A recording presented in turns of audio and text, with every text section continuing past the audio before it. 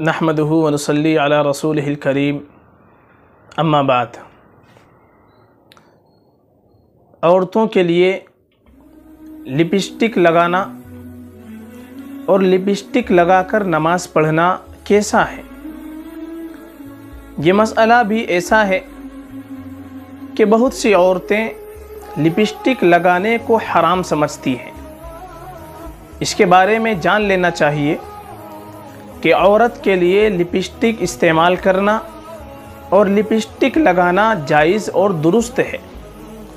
अलबत् अगर लिपस्टिक के अंदर कोई हराम अशिया मिली हुई हो, या हमको ये यकीन हो कि ये जो लिपस्टिक बनी हुई है, ये किसी नाजायज़ और हराम चीज़ से बनी हुई है, या कोई हराम चीज़ इसके अंदर मिली हुई है तो फिर ऐसी लिपस्टिक लगाना वो जायज़ और दुरुस्त नहीं होगा। अलबत् ऐसी लिपस्टिक जिसके अंदर हराम अज्जा मिले हुए ना हो, वो लिपस्टिक लगाना औरत के लिए जायज़ और दुरुस्त है।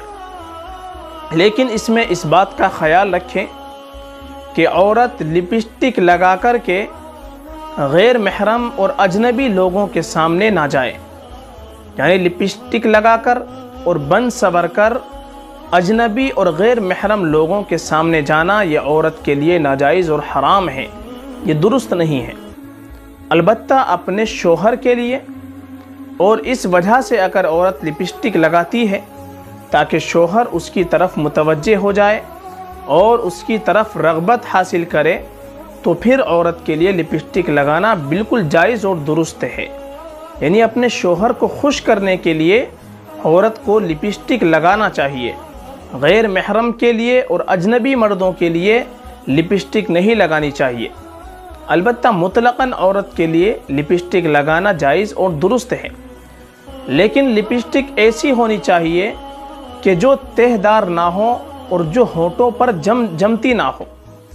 अगर लिपस्टिक ऐसी है कि होठों पर उसकी तह जम जाती है, जो पानी को होठों तक पहुँचने से रोकती है तो ऐसी तहदार अगर लिपस्टिक लगाती है, जिसके लगाने के बाद अगर पानी होठों तक नहीं पहुँचता है तो फिर उसकी वजह से वज़ू भी नहीं होगा।